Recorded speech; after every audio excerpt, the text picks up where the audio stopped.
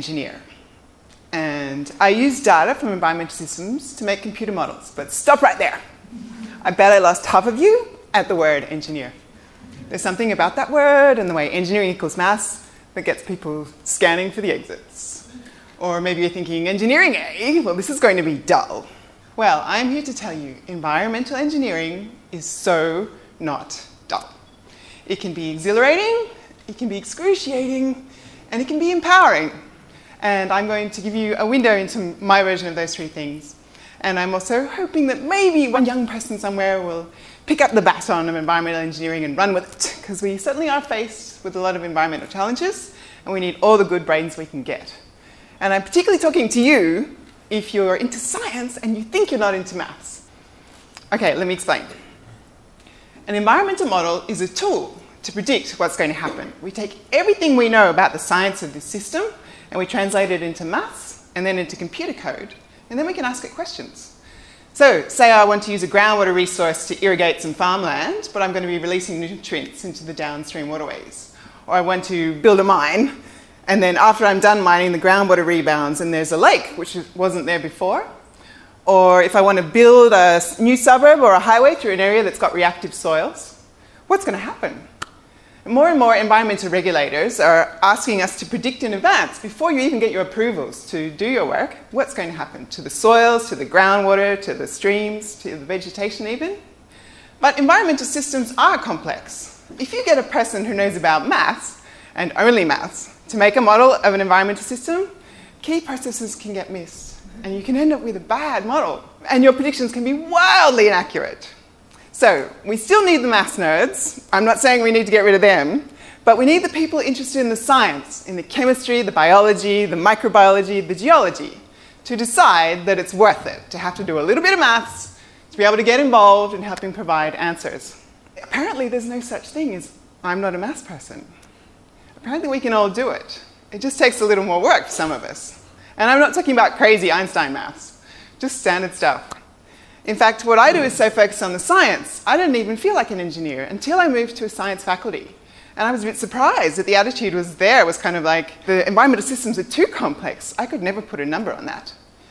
As an engineer, you're trained to think differently. You're trained to think a decision has to be made. Not putting a number on it is a luxury I don't have.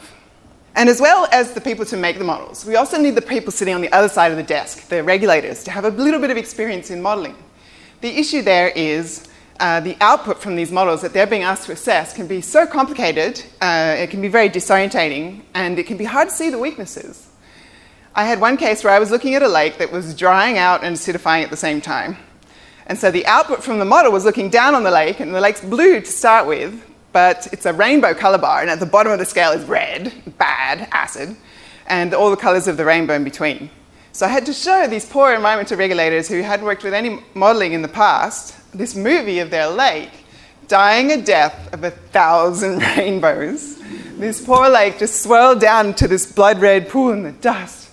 And I was expecting a lot of questions, but silence. And then after a while, someone said, Could you play that again? The, uh, the trick is you don't have to have done much modeling to understand how sensitive the results can be to the assumptions that you make. And at that point, you develop like laser eyes and you can see through the gloss and you can see the weaknesses. So we need to train more people who say, rainbows? Whatever. Tell me more about your assumptions and how that affects your predictions. My path to this point didn't have anything to do with being obsessed with maths or anything or being passionate about it. Instead, it started with growing up in Tasmania. Tasmania has rainforest, World Heritage listed temperate rainforest, where temperate means cold, but it is beautiful. And there are also historical mining towns. So on a family holiday to the west coast to see the rainforests, you go through forests and mountains, and then as you approach the mining towns, the historical mining towns, the trees start to drop away, and then when you get to the town, it's like a moonscape. There's just these bare hills. And every now and then there are these bright colors, this red, yellows, oranges, staining, like someone's been painting sunsets and their paint has been running into the rivers. And my dad was in the mining industry, so he could explain. There's certain minerals that are safe underground, but when we bring them to the surface, they react with the air and they produce acid. And that's what caused the beautiful colors. These are common minerals, they're everywhere, there are mine sites everywhere, and it's a natural process, but it's accelerated and it's concentrated by mining. And if left unabated, it can continue for hundreds of thousands of years. And then there was this lake that was fluorescent blue, but that was from the copper in the water. And then there was this river that was either red or pea soup, depending on if they were discharging that day. It was just all very surreal, you know. And even more surreal to get back to town and realize almost nobody else knew. Not everyone could have a dad who could explain. So in grade nine or whatever it was, when people start saying, What are you going to do for the rest of your life? I had my answer ready. I was going to try and clean up my dad's mess. and I now know that we can do things in a more sustainable way. It's not all doom and gloom. For most of the activities mankind comes up with, there is a path, and my day job is part of making that happen. The exhilarating bit of being an environmental engineer is I get to work with lakes, with coastal oceans, with rivers and aquatic ecosystems. I get to work with soils and the forests they support. I get to work with aquifers, like the ones here below our feet tonight, that provide Perth's drinking water. And they could have recharged 20,000 years ago when the sea level was 120 metres lower and you could walk to Rottnest. The main thing I'm interested in is water quality.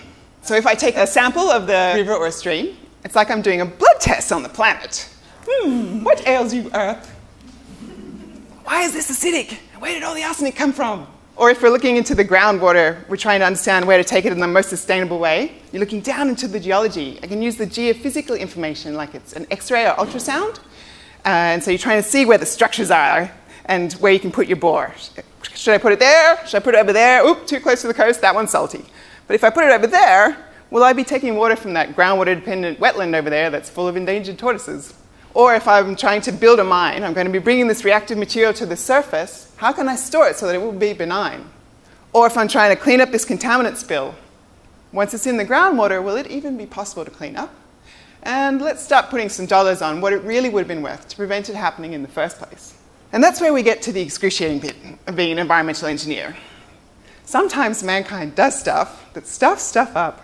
And as with most professions that people go into because they care, a direct consequence of having trained yourself to try and help solve the problems is that you end up at the front line and you see things you wish you didn't have to see. It's particularly excruciating if it was preventable, if we knew it was going to happen.